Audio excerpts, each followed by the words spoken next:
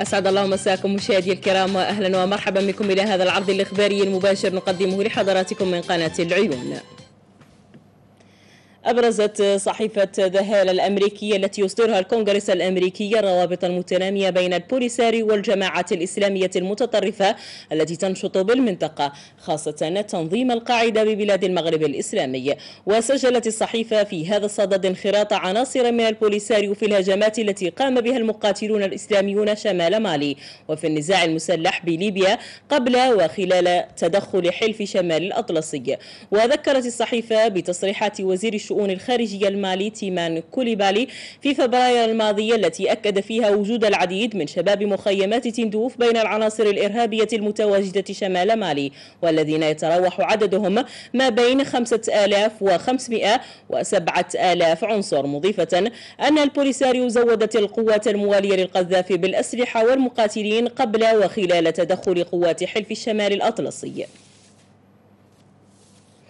إلى فعاليات مهرجان أسبوع الجمل في دورته الخامسة حيث تشكل منافسات الفروسية التقليدية أو التبوريد إحدى الفقرات الأساسية التي تحظى باهتمام شريحة كبيرة من الساكنة. عروض لها حضور قوي في ذاكرة أبناء المنطقة. حافظ محضار ومحمد بعيرس.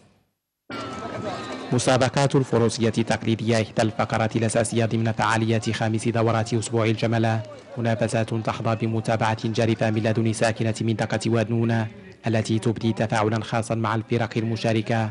فرق ومجموعات لا تدخر جهدا لتبصم على حضور لافتة.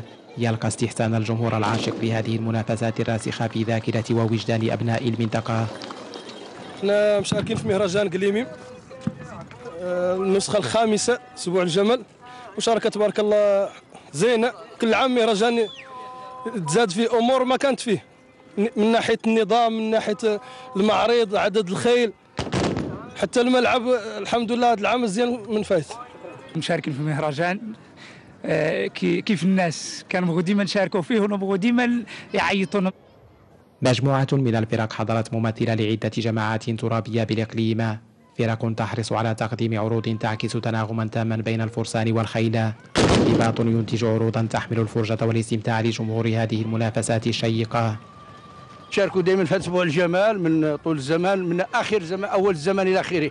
إحنا نشاركوا في هذه الجمعيات في هذا الخيل ما عندنا من غير هذا الخيل مخلي لهم نوايلنا وويلنا وهما اللي متعدين بهم باش دائما هما اللي عندنا في المهن ديالنا. إحنا واولادنا وجميع الأحباب ديالنا كلهم. منافسات متجدرة في وجدان أبناء المنطقة وهو ما حدا باللجنة المنظمة إلى استحضار هذه المسابقات ضمن فقرات المهرجان الأساسية. مسابقات تقدم عروضها الممتعة لجمهور هذه التظاهر على امتداد أسبوع كامل. في سياق آخر وفي إطار برنامج الاقتصاد الاجتماعي الذي تسهر على تنفيذه كل من وكالة الجنوب وعمالة إقليم وجدور تم إنجاز المشروع المتعلق بإحداث وحدة لتثمين الصدفيات والمنتوجات البحرية وذلك بتكلفة مالية تقدر بمليوني درهم. المزيد مع بريجين العروسي ومحمد شارع لخلق نموذج اقتصادي يضع في أولوياته التعريف بالثروات البحرية المتنوعة التي يزخر بها إقليم بوجدور والتي تعرف بجودتها العالية والطلب المتزايد عليها وطنيا ودوليا. أحدثت هذه الوحدة لتثمين الصدفيات والمنتوجات البحرية. مشروع يروم تشجيع الأنشطة الاقتصادية التي تساهم في خلق فرص شغل قارة لفائدة الساكنة المحلية. كاين دارج مثلا في المخطط ديال ديال وكالة الجنوب في إطار مثلا المخ... الاقتصاد الاجتماعي. آه هذا المشروع الحمد لله غادي مثلا غادي يوفر واحد الشغل قار المجموعه من من من, من أبناء المنطقة اللي كيشتغلوا مثلا في قطاع الصيد البحري واللي مثلا كيهتموا بتثمين المنتجات البحرية. والحمد لله آه الناس هذا الشيء مثلا هذه هذه المسائل هذه كتشجع يعني لي ماتيريال هذه المسائل كاملة كتشجعنا باش إن شاء الله الحمد لله نخدموا في في في, في تثمين هذا المنتوج هذا. تستهدف هذه الوحدة إلى إحداث إلى خلق فرص شغل قارة لفائدة المتعاونين وكذا المتعاونات. الكلفة الإجمالية لإنجاز هذا المشروع تقارب المليوني درهم ويستفيد منها عشرون متعاون بطريقة مباشرة بالإضافة إلى عدد كبير من المستفيدين الغير مباشرين كما تلاحظون آه، عملية آه، عملية آه، الاشتغال بهذه الوحدة. نحن نلاحظ الآن أن أعضاء التعاونية والمتكونون من 20 فرد يستفيدون بصفة مباشرة بالإضافة إلى فرص الشغل التي تم إحداثها بطريقة غير مباشرة والتي تتراوح ما بين 40 و 60 فرصة عمل. وسيمكن هذا المشروع الممول في إطار شراكة بين وكالة الجنوب وعمالة إقليم بوجور. من توفير مناصب شغل للمستفيدين المباشرين كما ستحقق للعاملين بالوحدة دخلا قارا يساعدهم على مواجهة متطلبات الحياة اليومية. تتوفر مدينة سمارة على مرفق من المرافق الاجتماعية التي توثق لتاريخ حافل من الملاحم البطولية للمقاومة وأعضاء جيش التحرير بالجنوب. مرفق يضم متحفا وخزانة وسائطية يجد فيها الزائر مبتغاه من هذه الحقبة المشرقة من تاريخ المقاومة بالمغرب. عمر ميارة ونيمان مغيفري. هنا بهذا الفضاء من المتحف سيكتشف الزائر صورا من الماضي المشرق لرجالات صنعوا ملاحم بطولية تؤرخ لفجر الاستقلال بالمغرب وتحديدا بجنوبه بان الاستعمار الفرنسي والإسباني وفي بعض زواياه مجسمات وأدوات استعملها المقاومون في تلك الفترة. آه، بني هذا المتحف آه، الفضاء الاجتماعي والتربوي لأسرة المقاومة وجيش التحرير المتحفي. في إطار شراكة ما بين المجالس المنتخبة والمندوبية السامية لقدماء المقاومين وأعضاء جيش التحرير ووكالة تنمية الأقاليم الجنوبية. وهو مفخرة لهذا الإقليم نظرا لأنه يضم مجموعة من التحف المعبرة عن تراث هذا الإقليم وعن جهاده. وفي إحدى مرافق المتحف تأثثت رفوف هذه الخزانة بكتب ومؤلفات يحكي بعضها عن مراحل المقاومة وأبطالها وأخرى عبارة عن إصدارات ومقالات للدارسين. وكذلك تضم الخزانة مجموعة من المراجع سيجد فيها الطلبة الجامعيين مادة غنية لبحوثهم لما تتضمنه من معلومات وشهادات حية عن تاريخ المقاومة بشكل عام.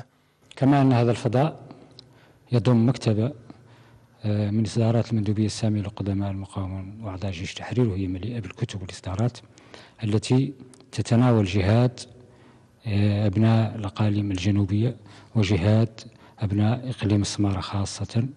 وهذه الكتب هي موضوع رهن إشارة الباحثين.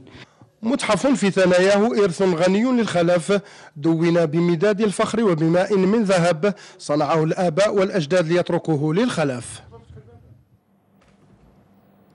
متى ما شهر أبريل 2014 سيرى مشروع تهيئة البحر بالطرفاية النور كمشروع سيغير الكثير بالمدينة. التغيير سيمس الواجهة البحرية الكورنيش وسيخلق عددا مهما من مناصب الشغل فضلا عن الدينامية الاقتصادية والاستثمارية التي سيساهم في إحداثها. محمد فاضل أبو الحسن ومحمد مولود من لا يخاف معهما المزيد من التفاصيل. مشروع التهيئة هذا تعقد عليه الساكنة ومنتخبوها والسلطات المحلية بالطرفاية آمالا كبيرة. آمال تنبع من كون المشروع سيخلق دينامية اقتصادية لطالما انتظارها بالطرفاية فضلا عن كونه سيساهم في خلق مناصب شغل محلية مباشرة وغير مباشرة. المبلغ المالي ديالو هو 35 مليون درهم اللي هو ممول تحت شراكة ما بين عماله الطرفاية وكاله الجنوب المديرية العامة للجماعات المحلية المجلس البلدي المجلس الإقليمي والمجلس الجهوي. إن شاء الله مدة الإنجاز ديال هذا المشروع هو 16 شهر مع ارتقاء بانتهاء الأشغال في الأشغال في, نهاية شهر أبريل 2014 وحتى ذلك التاريخ يكون المتدخلون والشركاء في مشروع تهيئة ساحة دار البحر قد عبأوا مبلغا كافيا لإحداث التغيير الجذري على الواجهة البحرية بالطرفاية المتميزة بالدار الأثرية كسمار. الورقة الثقافية للنشرة تنقلنا إلى الطرفاية التي عاشت خلال الأيام الماضية على إيقاع بعض الأنشطة الفنية والثقافية المنظمة على هامش عيدي الشباب وثورة الملك والشعب. محمد فاضل أبو الحسن ومحمد مولود من لا يخاف كان هناك وأنجز الريبورتاج التالي. شعراء من مختلف الأقاليم الجنوبية وجهتهم مدينة الطرفاية في الذكرى الستين لعيد ثورة الملك والشعب. الشعراء جادت قرائحهم بأفكار تضمنتها قوافيهم وأبياتهم التي ألقوها أمام الحضور وهي الأبيات والقصائد التي تغنت بثورة الملك والشعب والمغازي من وراء الارتباط بينهما. أنا جيت من مدينة الداخلة. قصد مثلا نشارك في في في ذكر ثوره الملك والشعب في إقليم طرفايه بما ان هذا الاقليم فتي وأنا كنت ساكن أصلا هون اخترت مثلا نشارك نعطي شرف المشاركة للاقليم وشجع أهل الاقليم وإن شاء الله نتمنى أن أنتم نشاركوا دائما في, في هذه المناسبات اللي هي. المشاركه اللي كانت اللي بعد كانت على المدينة وكانت على المآثر التاريخية اللي تظهر بها المدينة وحقيقه آه، تفتخر بهم. اللي تقولي دار البحر اللي كانت تنزار في الفات وكانت بالعمار عادت من تصريف القهار بلد حايط به التهديد وحجار وعادت كل نهار تطايح هذا الدار أكيد. واليوم اللي فيه تحمجية يسوى عاد قريب وبعيد يحكم الأمور بجدية ويكرر شعاره ويشيد كسمار ودار المية لا يتكلم عمر على الزيت وكي تكتمل الأفراح ولأن الكلمة تستكمل جماليتها باللحن والنغمة. نظمت على هامش عيد الشباب المجيد بإحدى ساحات المدينة سهرة فنية. السهرة شاركت فيها فرق فنية محلية وهي الفقرات التي عرفت حضورا من مختلف الأعمار في بادرة من أهدافها تعميم الاحتفالات وتنشيط المدينة. دائما مع أجواء السهرات الفنية الكبرى وضمن فعاليات الدورة الخامسة لمهرجان أسبوع الجمال بقليميم أمسيات تستقطب عشرات الآلاف من ساكنة المدينة التي تستمتع بالعروض المقدمة. حافظ محدار وخالد تراكسي. عشرات الآلاف من ساكنة وزوار مدينة قليميم احتشدوا بساحة القسمة لمتابعة أطباق فنية متنوعة تقدمها سهرات مهرجان أسبوع الجمال في دورته الخامسة. المنظمون حرصوا على استحضار ألوان فنية متعددة تستجيب لاختلاف أذواق جمهور هذه الأمازي الفنية.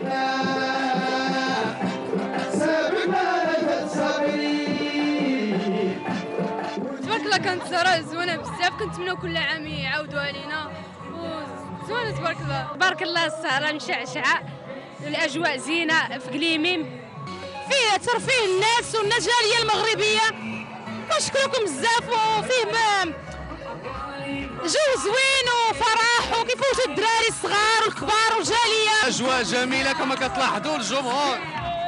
والجمهور فرحان بهذا المهرجان هذا وكنتمناو ديما كل عام يتكرر. الأجواء مزيانة كلشي فرحان والحمد لله. فرق حسانية وأمازيغية ومجموعات شبابية فضلا عن أسماء فنية ذائعة الصيت سواء في الأغنية الشعبية أو العصرية. حضرت لتقدم الفرجة والاستمتاع لجمهور هذا المهرجان الذي يعد من أهم المواعيد الثقافية والفنية السنوية بالأقاليم الجنوبية. من هذا المنبر من باب الصحراء المغربية تنحي كل الجماهير المغربيه اللي تشوفنا من طنجة حتى وتنقول لهم بصراحة الجمهور كان رائع والسهرة كانت رائعة في هذه المناسبة ديال آه، المهرجان الجمال واللي تتصادف بأحلى عيد عيد الشباب سيدنا الله ينصره من هذا المنبر. تنتمنوا له إن شاء الله طول العمر والله يخلي لنا سيدنا وتحية لكل جماهير المغاربة. على امتداد أسبوع كامل تتواصل فقرات هذه الاماسي الفنية التي نجحت في استقطاب حشود كبيرة من عشاق الفن الأصيل ومختلف الألوان الغنائية. سهرات فنية منحت إشعاعا خاصا لهذه التظاهرة السنوية. انتقلت إلى عفو الله تعالى المرحومة السالكة منت مبارك عن سن تناهز 96 سنة. الفقيدة تنتمي لقبيلة رقيبات السلام. كما انتقلت إلى عفو الله تعالى الأزرق فطم من تلحسن عن سن تناهز 86 سنة. الفقيدة تنتمي لقبيلة توسا وكانت قيد حياتها أحد أفراد أسرة المقاومة وأعضاء جيش التحرير. تغمد الله الفقيدتين بواسع رحمته واسكنهما فسيح جناته وألهم ذويهما الصبر والسلوان وإنا لله وإنا إليه راجعون. آخر مستجدات الأقاليم الجنوبية من خلال الصحف الوطنية الصادرة يوم غد في تقرير للسالك الزبير. نستهل قراءتنا بجديد الصحف الصادرة. نهاية الأسبوع كتبت يومية أخبار اليوم المغربية أن نقاشا يسود في أوساط البوليساريو يتحدث عن العودة إلى العمل المسلح مخافة أن يطال قضيتهم النسيان بعد الهدنة التي استمرت منذ العام 1991 دون أن تحقق الجبهة الأهداف التي رسمتها لنفسها ما يكشف فشل البوليساريو بحسب الصحيفة. وذكرت أخبار اليوم المغربية بأن هذا التوجه تظهره مداخلات مجموعة من الموالين للبوليساريو. ما يكشف أن المغرب يحقق مجموعة من المكاسب في ملف الصحراء فيما تتلقى البوليساريو الضربات رغم ما تحظى به من دعم علني وسري من قبل النظام الجزائري. بعد حوادث السير التي شهدتها الطرقات بعدد من الجهات بما فيها الأقاليم الجنوبية للمملكة كتبت يومية الخبر بأن وزير النقل والتجهيز عزيز رباح استنفر مصالح وزارته وأرباب النقل الطرقي بعد تزايد قتلى حوادث السير على مدار الشهر الجاري وهي الحوادث التي راح ضحيتها العشرات من القتلى والجرحى بسبب السرعة وعدم الانتباه وغياب المراقبة. وذكرت الخبر أن هذه الحوادث المميتة دفعت الوزارة إلى تدارس الأسباب الكامنة وراء ذلك وتدابير الاستعجالية الواجب اتخاذها لتفادي وقوع مثل هذه الكوارث على الطرقات وما يترتب عنها من خسائر بشرية ومادية جسيمة. صحيفة جود كتبت نقلا عن مصادر مطلعة أن مستشفى مولاي الحسن بالمهدي بالعيون شهد مساء الأربعاء 21 غشت الجاري أكبر فضيحة في تاريخ المستشفى بعدما تمكن شخص من مساعدة أم عازبة ومولودها على الفرار من قسم الولادة بالمستشفى. بعدما هدد حراس الأمن الخاص وساعدته إحدى الممرضات على عملية الهروب درءا للفضيحة وعدم فتح تحقيق في الولادة غير الشرعية.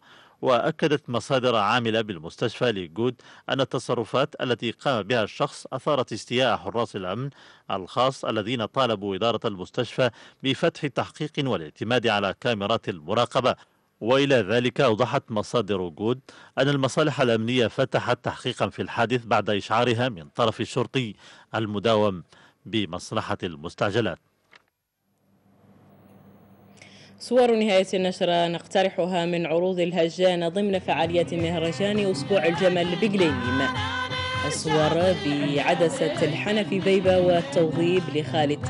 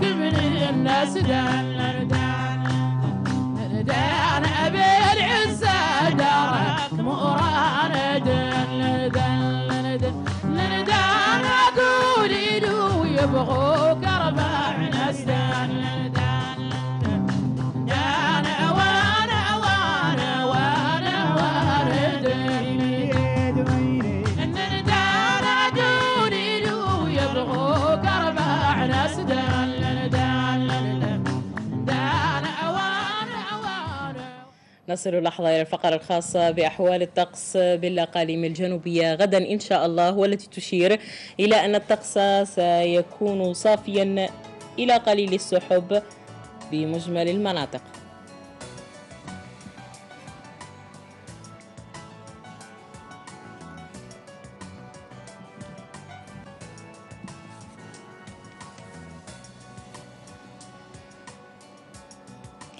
درجات الحرارة الدنيا تتراوح ما بين 19 درجة بسيدي إفني و 31 درجة بكل من آس طاطا ومضريقة وقلت تزمور أما درجة الحرارة العليا فتتراوح ما بين 25 درجة بسيدي إفني و 44 درجة بكل من مضريقة وآس. حالة البحر بالواجهة الأطلسية قليل الهيجان هائج على العموم.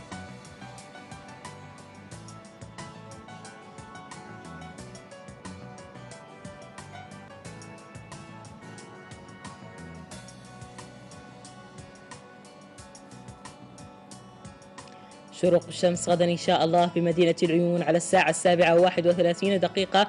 أما الغروب فسيكون على الساعة الثامنة وثمانية عشر دقيقة. درجة الحرارة في بعض المناطق المجاورة لبلادنا 33 درجة بنواكشوط 34 درجة بنواذيبو 45 درجة بالزويرات 42 درجة بسندوف وبالعاصمة الرباط 29 درجة.